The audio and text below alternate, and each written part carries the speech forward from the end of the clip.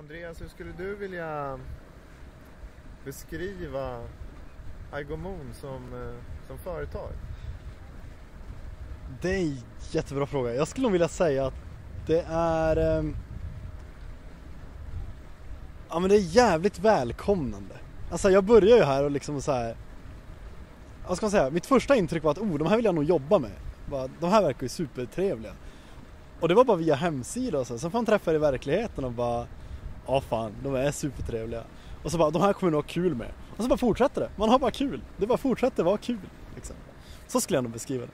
det är gött. Jag skulle beskriva det som min familj. Skulle jag. Som Eh, din pappa. Precis. Eh, han skulle ju vara tyst. Nej men jag skulle faktiskt, jag har tänkt på det eh, många gånger som jag ofta säger till kunder. Att jag ska gå hem. Eh, och då menar jag ju till kontoret. Faktiskt. Eh, och det blir så här fel.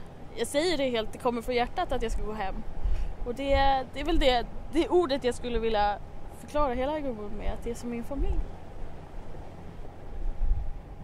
Fint va? Agomon är ju, det är lite som att gå ner i gruvan. Det är ju det är smutsigt och det är, det är tufft liksom men det blir bra till slut. Som företag? Oj. Eh, jag ser inte riktigt som eh, ett företag kan jag vilja säga. Jag ser det mer som lite kompisar som hänger. Men vi gör världen en, till ett bättre ställe. Jag har jobbat på Argamon i lite över två år.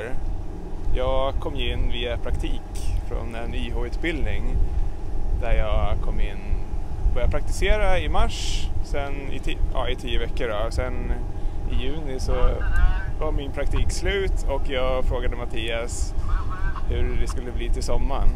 Och han frågade mig vad jag menade och då sa jag, jag vill inte tycka om det här företaget för mycket för att lämna det. Agomon som företag. Ehm, jag skulle vilja beskriva Agomon som företag som eh, väldigt engagerande företag eh, som bryr sig otroligt mycket, eh, som har en inställning om att allting ska vara otroligt krispt vilket gör att eh, slutleveransen produkt till eh, med allt vi gör egentligen eh, håller en extremt hög standard. Eh, förutom det så är vi ganska roliga. Eh, vi är eh, ett bra gäng, liksom, en sammansvetsad grupp som, som, eh, som är redo att åka till månen. Eh, då är egentligen, egentligen vill jag bara välkomna er till vår månresa.